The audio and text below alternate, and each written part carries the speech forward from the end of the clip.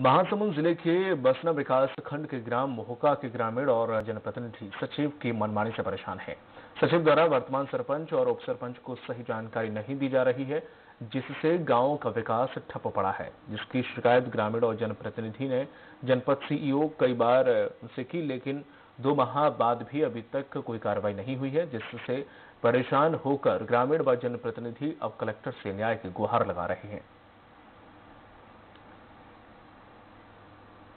अभी नवनियुक्त सरपंच श्रीमती सुभाषिनी भोई, उप सरपंच श्रीमती सरोज देवी अग्रवाल को नियुक्ति किया गया सर। पूर्व में जो सरपंच और, उप सरपंच थे, उनको भ्रष्टाचार में लिप्त पाने के दरमियान एसडीएम साहब ने उनको निलंबित किया है। निलंबित के बाद ये दोनों महिलाओं की नियुक्ति की गई थी, जिनको आज तक किसी भी प्रकार का प्रभार नहीं दिया गया है।